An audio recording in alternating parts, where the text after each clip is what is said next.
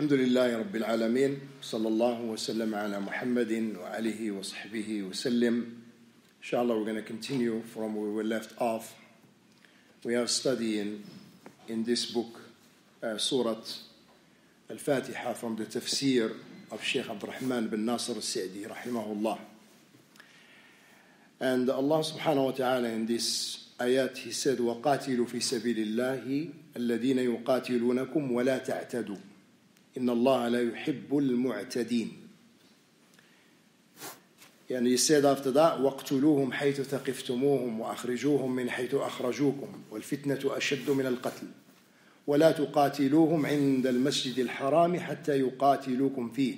فإن قاتلوكم فاقتلوهم كذلك جزاء الكافرين. فإن انتهوا فإن الله غفور رحيم. وقاتلوهم حتى لا تكون فتنة ويكون الدين لله.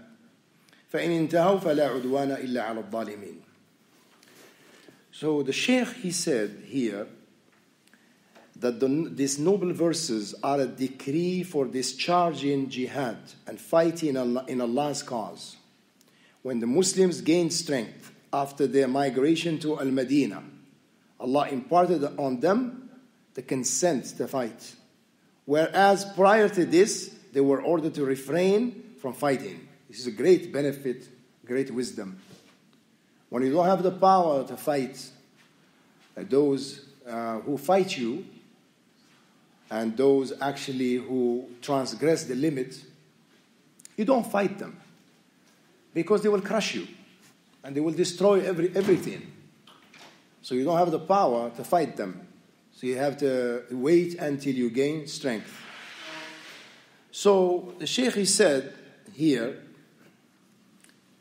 fight with the phrase in Allah's cause is a persuasion for Muslims to be sincere. To be sincere and abstain from quarreling and argumentation amongst each other during periods of turmoil. Look, subhanAllah, there are two benefits. The first benefit is you are sincere. You're doing it for the sake of Allah subhanahu wa ta'ala. And the time of turmoil, when there is, you know, turmoil and um, chaos and the like, the Muslims, they should not split among each other. They should not split among each other. And that's what happened to Muslims in Andalusia, Spain. You know, Muslims, they ruled Andalusia, Spain for 750 years of Islamic civilization. But because of the turmoil and fighting among each other, you know, they became weak. So they lost. They lost everything. They lost everything. So the Shaykh he said, rahimahullah, those who fight you means fight against those who are preparing to fight against you. It is re- in reference to the young and healthy disbelievers who have the ability to fight you, and not the old and the feeble who can neither fight nor give military advice to the enemy. So it's, it's not everyone. Look how the Sharia, subhanallah, uh, this law is so beautiful, it's full of wisdom, that we don't fight those that who are, who are old and those who are feeble and the like. You fight only those who are capable of, and healthy and young and healthy from the disbelievers. And prohibition to not transgress the limits includes all actions of cruelty and oppression, such as killing women, children, the insane, and the priests who do not partake in the fighting. So these individuals, we don't, we don't, we don't touch them. Look how Islam is so beautiful, subhanallah. You don't like some uh, in uh, uh, some fighting, you know, people they kill everyone, and this is haram. You don't kill uh, everyone. Killing, uh, he said, uh, rahimahullah, cruelty and oppression also encompass, encompasses disgracing of the dead who were killed during a war. So you don't take their body and mutilate it. This is haram. It's not permissible to do. Killing of animals and cattle without any valid reason. Cutting down trees and things of a similar nature because they are all forbidden as they do not bring any benefit to the Muslims. if the disbelievers agree to pay the prescribed jizya, you know, the, the, the protection money that they give to the Muslim government, that's called jizya. If they agree to give that protection money, then to fight against them would also be considered as cruelty and oppression. So once they give that money to the government, to the Muslim government for protection, then you leave them alone. You don't fight them. You do not fight them.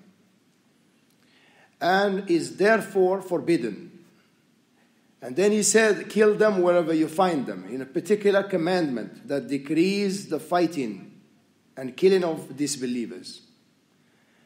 And means to fight against them defensively and offensively through the ages whenever and wherever they are found. However, proximity to Masjid al Haram excludes from the generalization of this verse because fighting in it and around this mosque is strictly forbidden.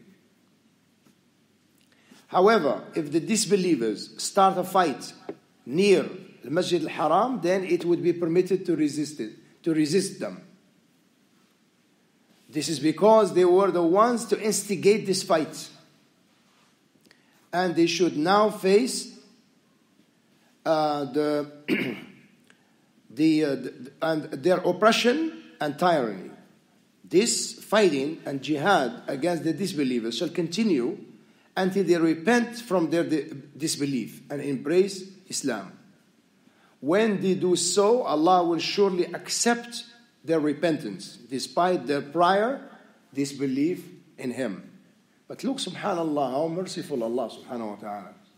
So when the disbelievers accept Islam and they enter Islam, everything that they have done in the past will be forgiven. Everything. And another benefit also, all the good deeds that they did in the past, they, will get, they get to keep those good deeds. Subhanallah. They get to keep those good deeds.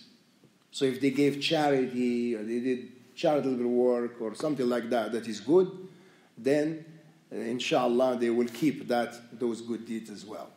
Allah subhanahu wa ta'ala says in Surah Al-Anfal, قُلْ لِلَّذِينَ كَفَرُوا إِيَّنْتَهُ يُغْفَرْ لَهُم مَا قَدْ سَلَفَ Say to those who disbelieve, if they cease and they stop and they accept Islam, everything that they have done in the past will be forgiven. They had performed the gravest sin, disbelief, within the boundaries of the sacred mosque and prevented Allah's Prophet ﷺ and the faithful from entering it. This permissibility to defensively fight is from Allah's extreme kindness and benevolence upon His servants, since prohibition of fighting near Masjid al-Haram creates a, a false impression that such a fight might be a cause for mayhem in the sacred city. Allah makes it clear that performing the sins of idolatry and preventing people from practicing Allah's religion is far worse than fighting there, there, therefore.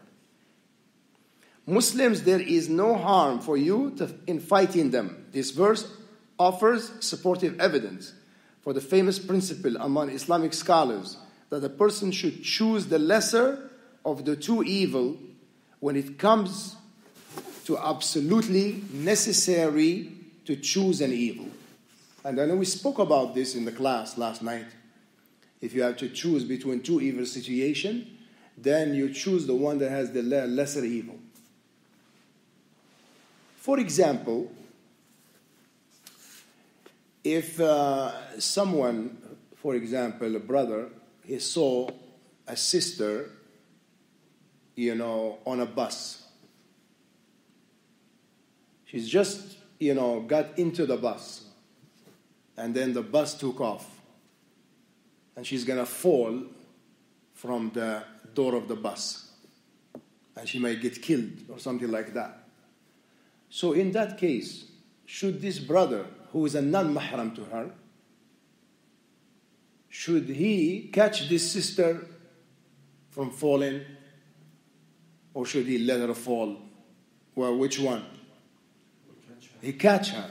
Don't, don't say, well, it's haram. I, I cannot uh, touch a woman. And then you let the, the, the woman die or get hurt. La. In this case, you catch her. Likewise, when you see someone, you know, that you know, if you stop them from an evil, they will do an evil much worse than that evil. You don't stop at that time. And uh, there is a story about Sheikh al-Islam Ibn Taymiyyah rahimahullah. Sheikh Muhammad bin Uthaymeen, he mentioned it. Sheikh al-Islam rahimahullah, he lived at the time of the Tatar. The Tatar. The, who, who are the Mongols. The Mongols, right. Because you know the Mongols, they ruled India as well. And also they, they ransacked Baghdad, the city of Baghdad. They killed scholars. And they destroyed a lot of Muslim civilization in terms of knowledge. So much so that uh, the Euphrates River and the Tigris, one of them was running with the ink from the books, the Islamic books, and the other one was running of the, from, uh, with the blood of the scholars. So they com- committed a lot of atrocities. But they accepted Islam later on. But during the time when they were, they, they occupied Baghdad, and I want you to reflect on this because we're talking about this principle that the Sheikh is mentioning here. It's very important that we shed some light on this principle that the Mongols, they were drinking alcohol. They were drinking alcohol. And Sheikh al-Islam, rahimahullah, with his students, they were walking around.